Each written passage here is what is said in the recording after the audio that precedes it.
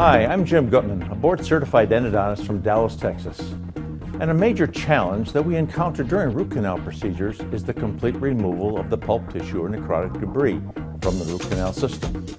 This achievement is paramount to truly cleaning the root canal system. In this demonstration, the activation of a root canal irrigant with an ultrasonic device, the PiezoFlow, and the subsequent acoustic streaming it creates shows how the solution, in its activated state, enables the clinician to loosen and remove tissue from the canal irregularities. This is essential for complete canal debridement and preparation for thorough obturation. This video highlights the value of using an active irrigation system, such as the PiezoFlow, to enhance the cleaning of the root canal.